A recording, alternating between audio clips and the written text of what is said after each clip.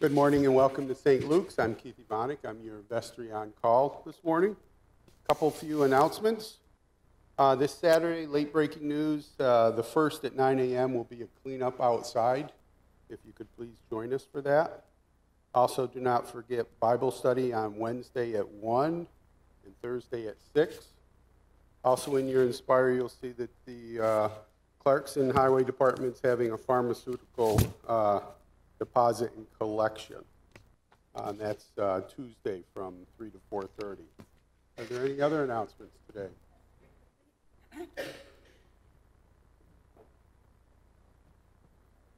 Hi, I'm Brenda Tremblay, the music director. You probably heard a few weeks ago that they announced that the monarch butterfly is now listed as endangered uh, because of uh, pesticides killing the milkweed that the birds or the butterflies need to feed on.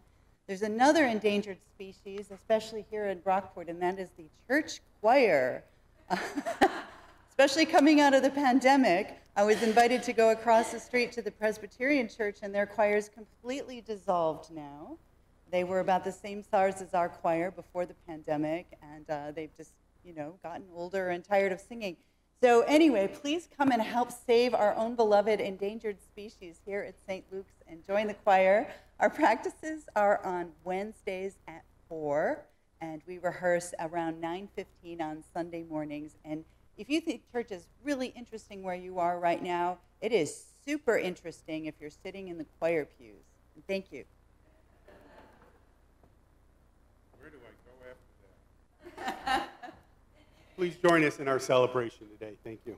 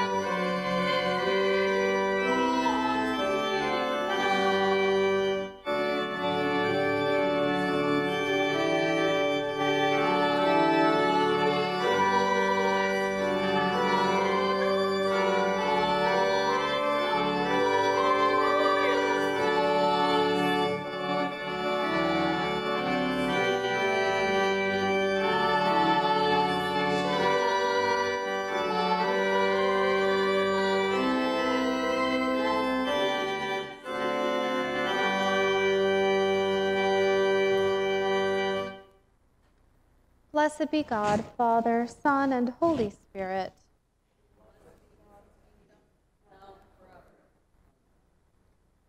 Almighty God, to you all hearts are open, all desires known, and from you no secrets are hid. Cleanse the thoughts of our hearts by the inspiration of your Holy Spirit, that we may perfectly love you and worthily magnify your holy name. Through Christ our Lord.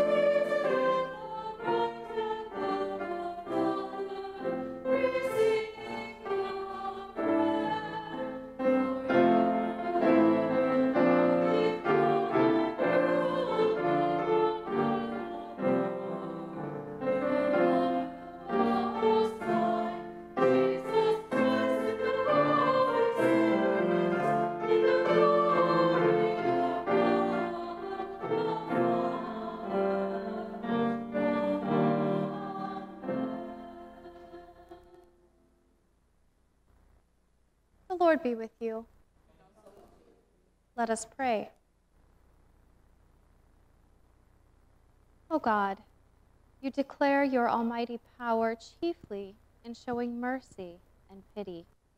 Grant us the fullness of your grace, that we, running to obtain your promises, may become partakers of your heavenly treasure. Through Jesus Christ our Lord, who lives and reigns with you in the Holy Spirit, one God, forever and ever. Amen.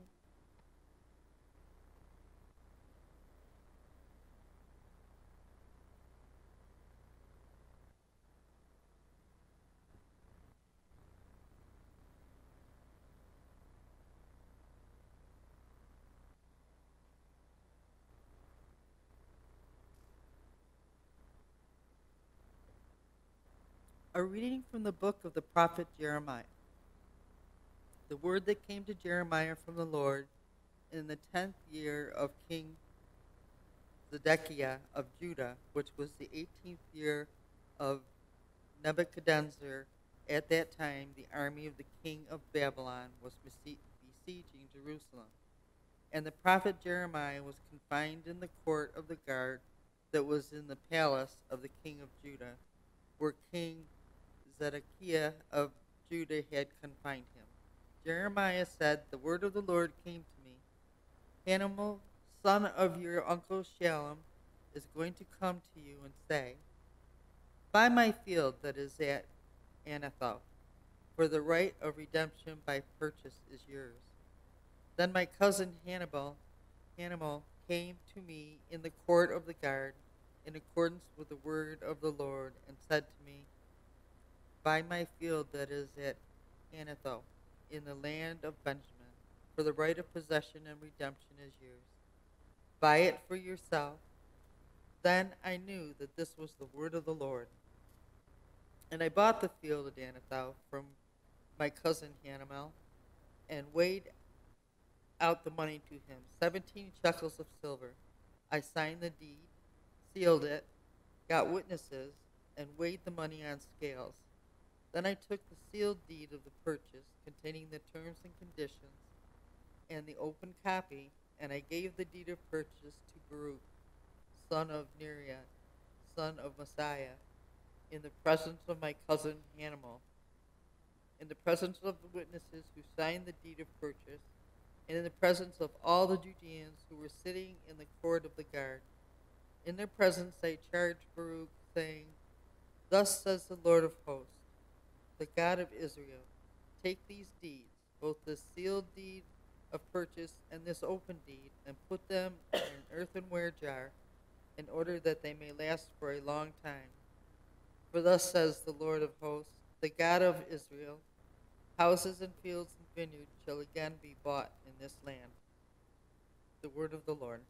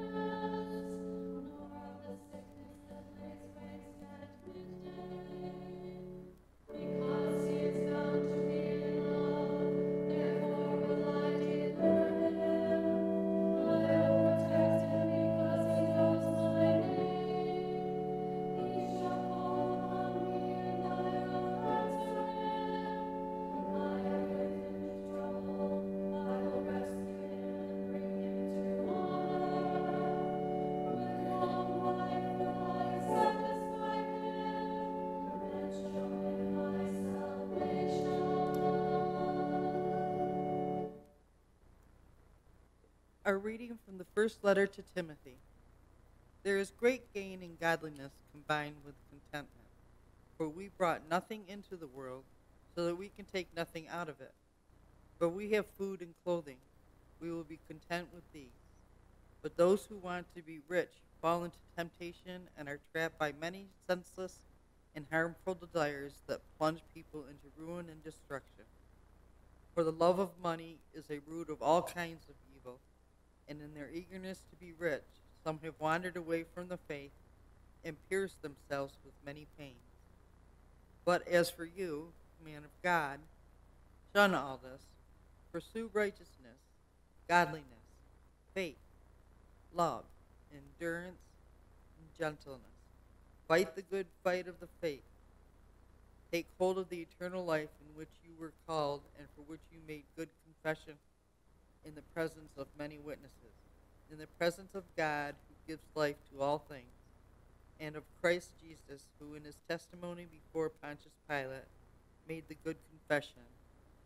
I charge you to keep the commandment without spot or blame until the manifestation of our Lord Jesus Christ, which he will bring about at the right time. He who is the blessed and only sovereign, the King of kings and Lord of lords. It is he alone who is immortally and who is immortality and dwells in unapproachable light, which no one has ever seen or can see. To him be honor and eternal dominion. Amen. As for those who in the present age are rich, command them not to be haughty, or to set their hopes on the uncertainty of riches, but rather on God, who richly provides them, richly provides us with everything for our enjoyment. They are to do good, to be rich in good works, generous, and ready to share, thus storing up for themselves the treasure of a good foundation for the future, so that they may take hold of the life that really is life. The word of the Lord.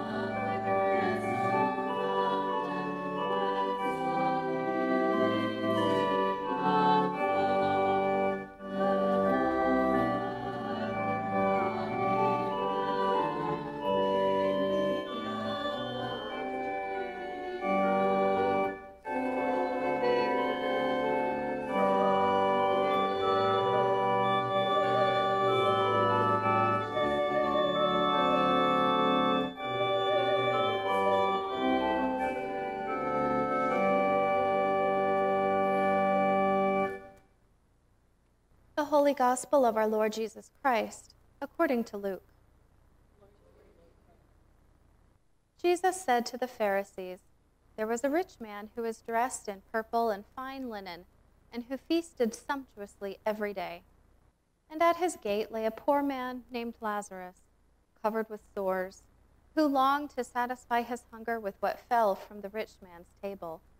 Even the dogs would come and lick his sores. The poor man died and was carried away by the angels to be with Abraham. The rich man also died and was buried. In Hades, where he was being tormented, he looked up and saw Abraham far away with Lazarus by his side. He called out, Father Abraham, have mercy on me, and send Lazarus to dip the tip of his finger in water and cool my tongue, for I am in agony in these flames. But Abraham said, Child, remember that during your lifetime you received your good things, and Lazarus, in like manner, received evil things. But now he is comforted here, and you are in agony. Besides all this, between you and us a great chasm has been fixed, so that those who might want to pass from here to you cannot do so, and no one can cross from there to us. He said, Then, Father, I beg you to send him to my father's house, for I have five brothers, that he may warn them, so that they will not also come into this place of torment. Abraham replied, They have Moses and the prophets. They should listen to them. He said, No, Father Abraham, but if someone goes to them from the dead, they will repent. He said to him, If they do not listen to Moses and the prophets, neither will they be convinced, even if someone rises from the dead. The Gospel of the Lord.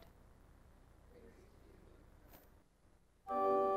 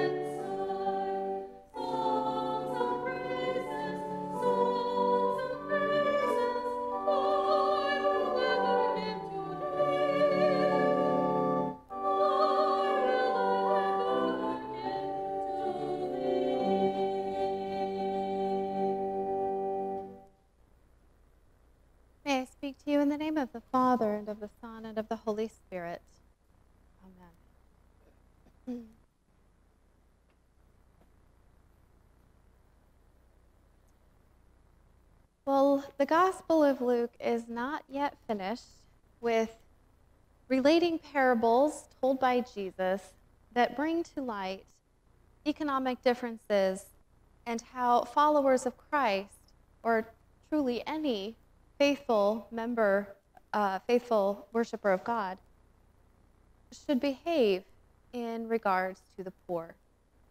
We have a story of a rich man, and we're told he feasts sumptuously every day, that he dresses in purple and fine linen, and that his house has gates.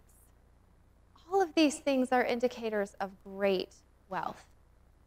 To feast in the ancient world is to invite others and to then be hosted in their turn, so that you would have this sort of back and forth exchange with your peers, and you would try to sort of outdo one another in, in hosting and being gracious, but win for yourself thereby much honor. At the home of a rich man would lay, or would there would go the poor people, so that when the people who are coming in to feast arrive, they can give alms to the poor. This is another way in the ancient world that one could gain honor for oneself. If you are seen as being generous to the poor, then you gain great honor in the eyes of your community. We have in this parable a rich man who has all of this set up and yet fails to give anything to the poor, particularly this poor man who is uniquely named in the parables. Not many of the characters in parables get names, but this one does. His name is Lazarus. And Scripture paints a very pitiable picture of him, indeed. Poor, ill, covered in sores, and starving. Starving to the point that he would be quite glad to take the scraps from the table of this wealthy man and thereby satisfy his hunger. The picture shows the extreme extremity of Lazarus' poverty, that he would be happy and satisfied with scraps. It also shows the extremity of this wealthy man's excess. There is enough left over to literally sustain other people, and yet it is simply tossed aside instead of taken to those poor and given to them to eat. This parable is consistent with much of the Gospel of Luke.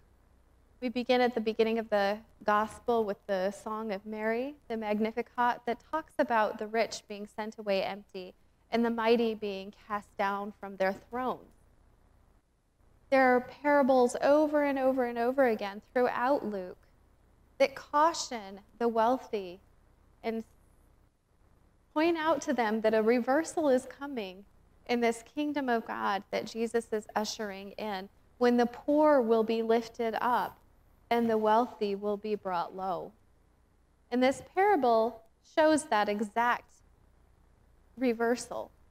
In the afterlife that is, you know, fictionatively imagined here, where Lazarus is in a sort of heavenly realm and is comforted and well and happy and joyous. And the rich man, who is reminded by Abraham, you already had all your good stuff, is suffering as a consequence for his failure to be generous with his wealth. So, this economic slant on the scripture in this parable works very well. It's a very clear interpretation and application.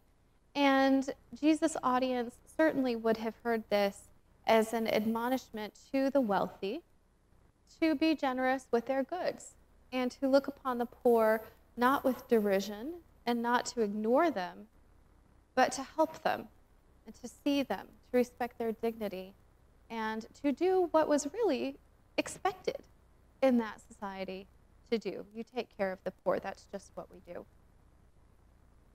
There is another reading of this text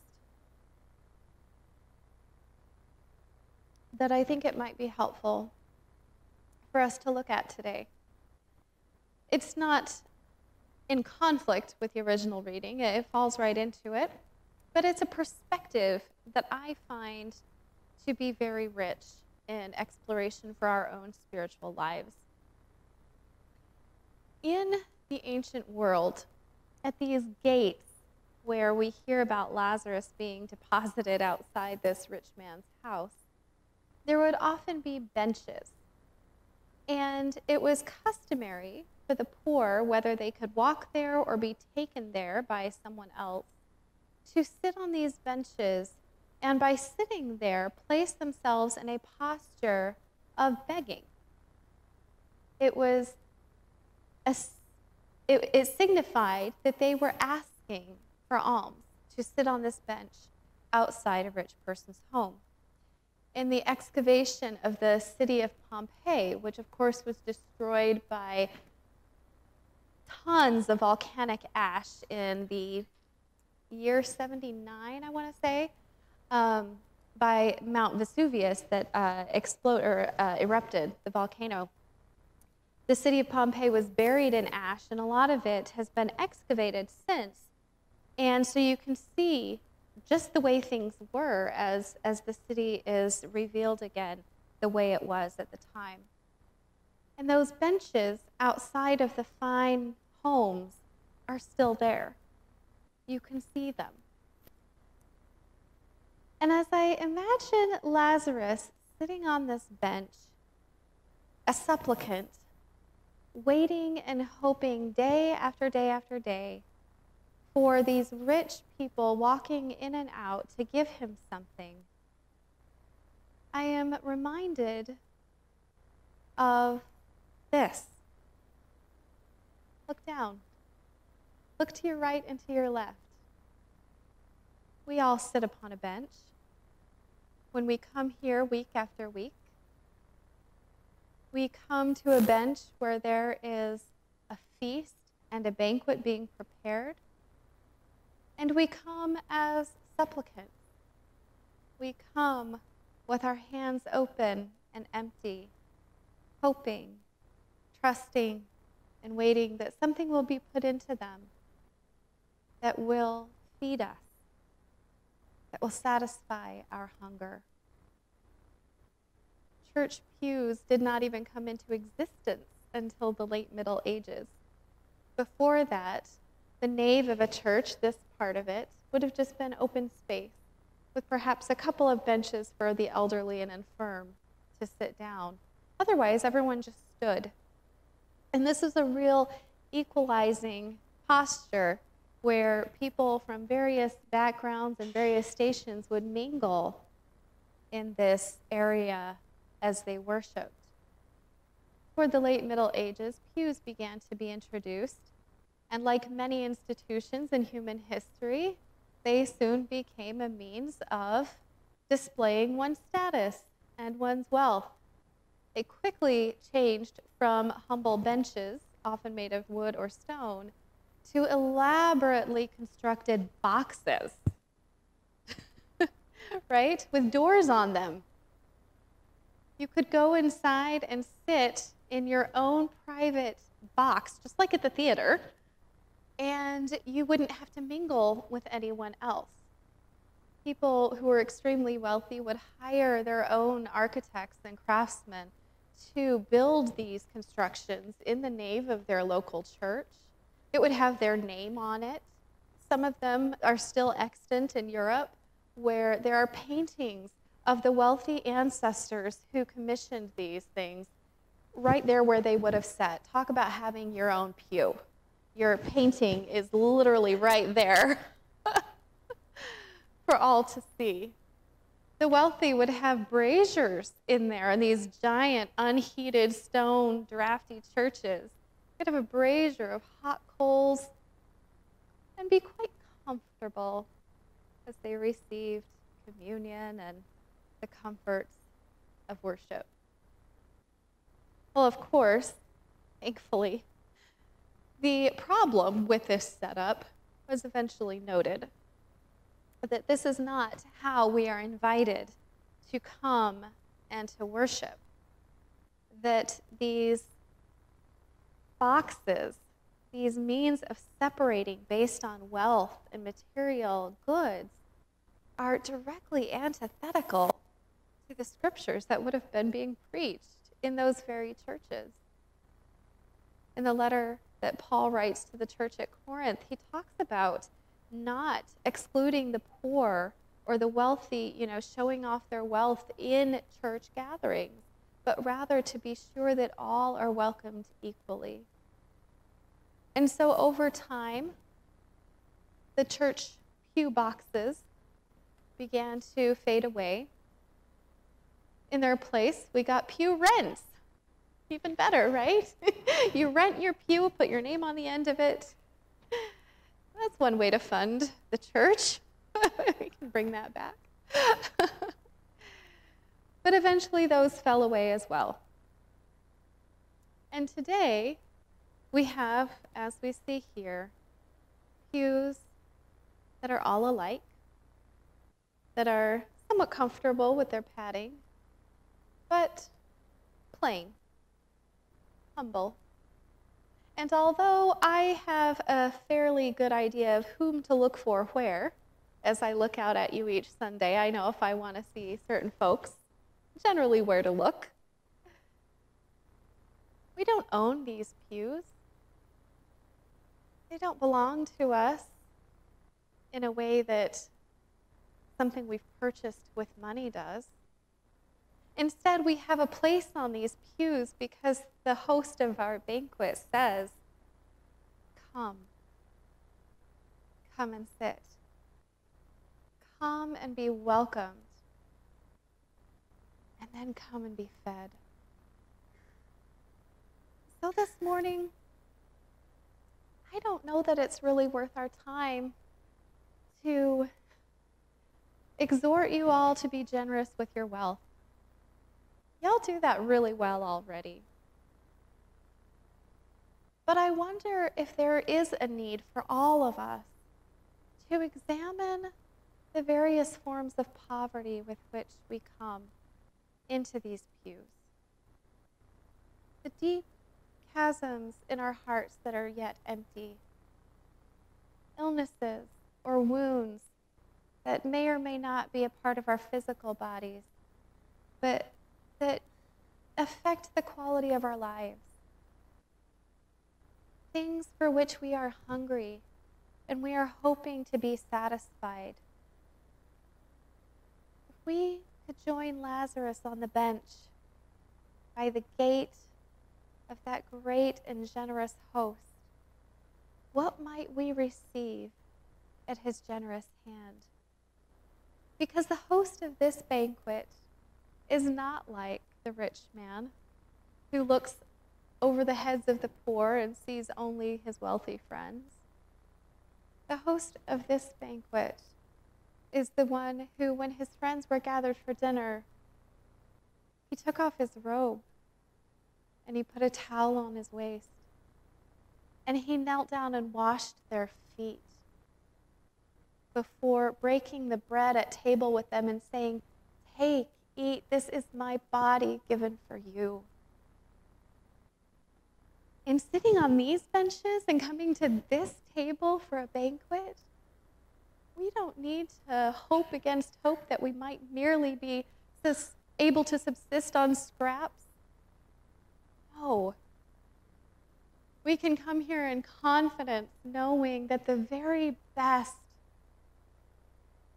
will be given to us we come with open hands and open hearts to receive it. Our collect this morning, the prayer at the beginning of our service, said, O God, whose power is chiefly displayed in showing mercy, reminds us that we come as supplicants. We come as people in need and that that's okay. Because Jesus meets us here and says, Come, eat, be satisfied.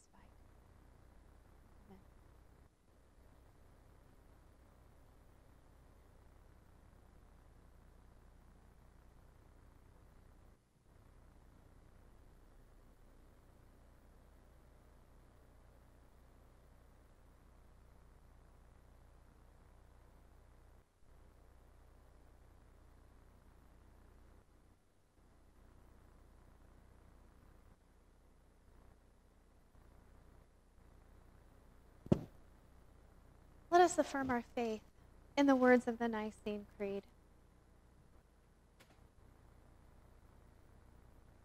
We believe in one God, the Father, the Almighty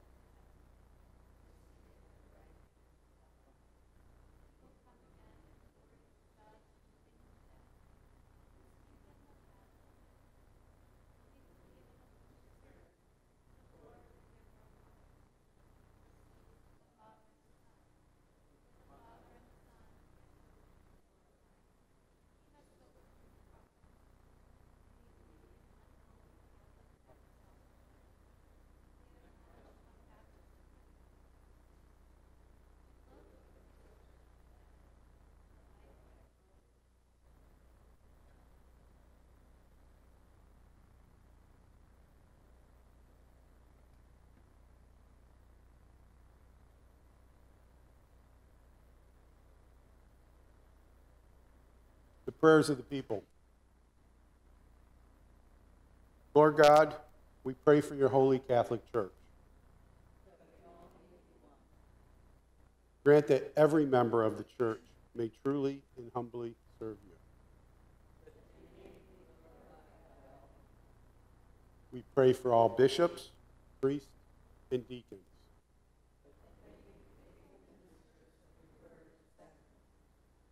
We pray for all who govern and hold authority in the nations of the world. Give us grace to do your will in all that we undertake. Have compassion on the sick and those who suffer from any grief or trouble.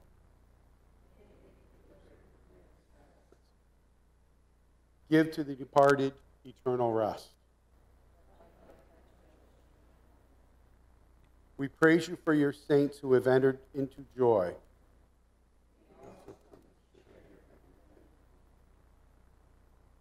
Let us pray for your own needs and those of others, silently or aloud.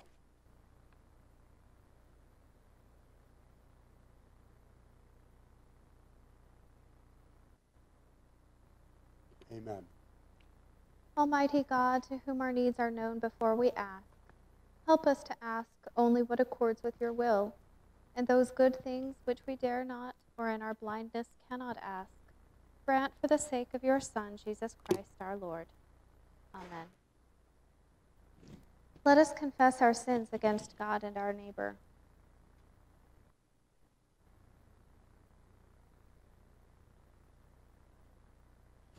Most merciful God, we confess.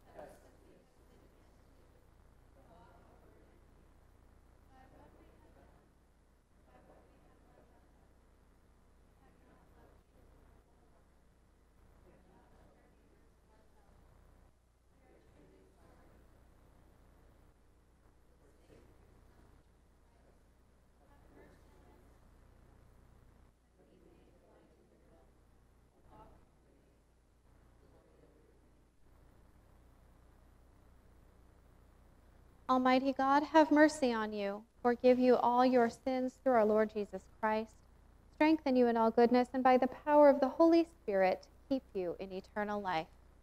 Amen.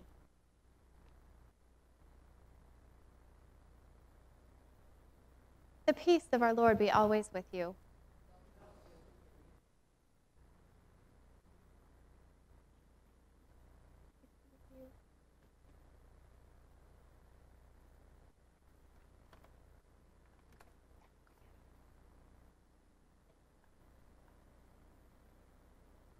Walk in love, as Christ loved us and gave himself for us, an offering and a sacrifice unto God.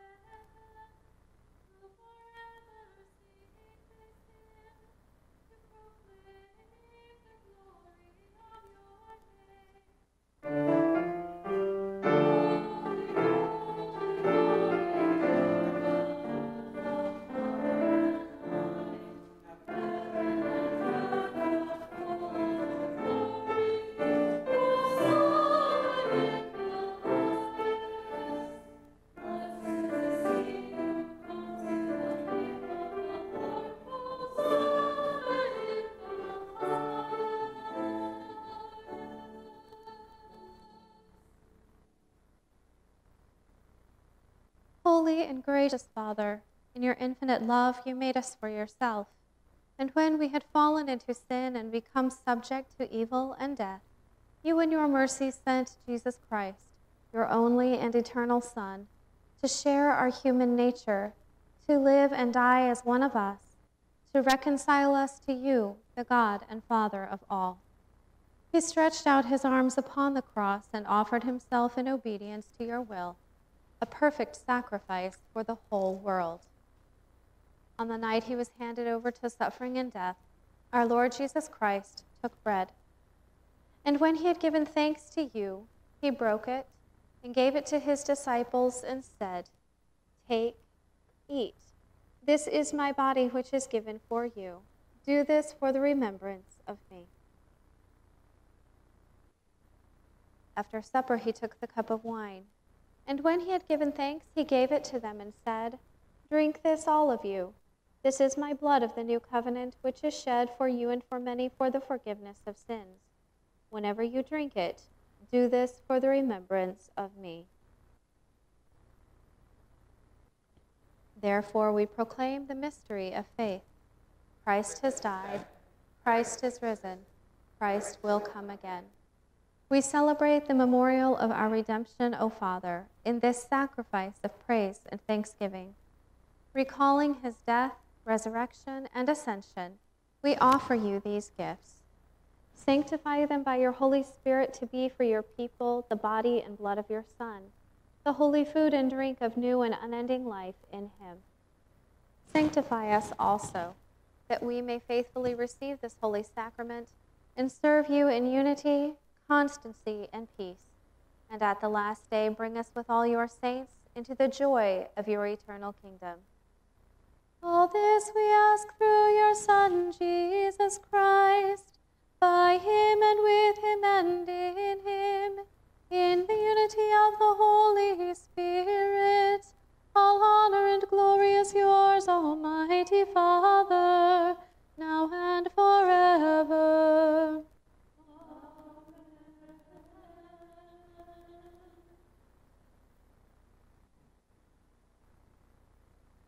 And now, as our Savior Christ has taught us, we are bold to say, Our Father, who art in heaven, hallowed be thy name.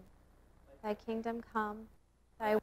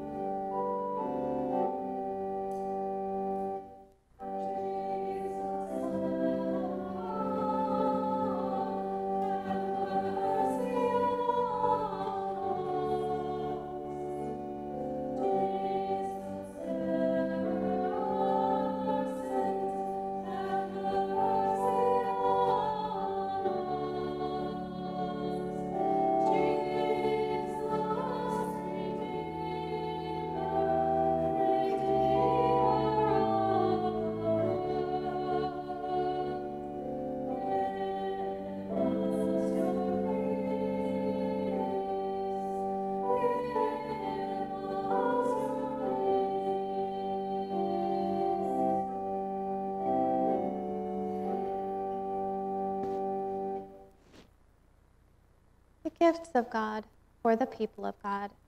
Take them in remembrance that Christ died for you and feed on him in your hearts by faith with thanksgiving.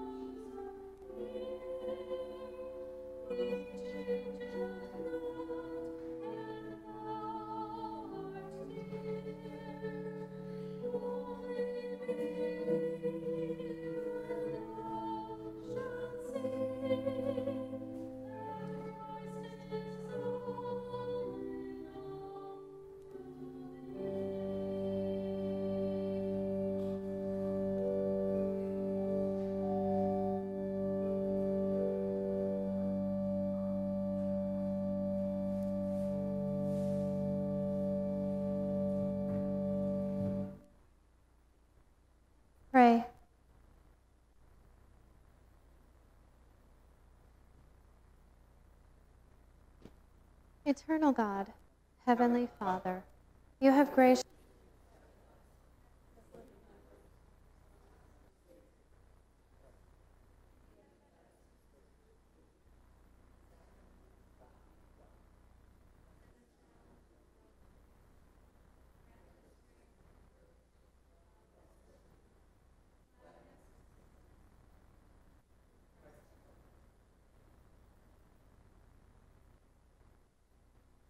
Life is short, and we do not have much time to gladden the hearts of those who travel with us.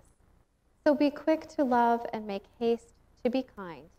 And the blessing of God Almighty, the Father, the Son, and the Holy Spirit be upon you and remain with you always. Go in peace to love and serve the Lord.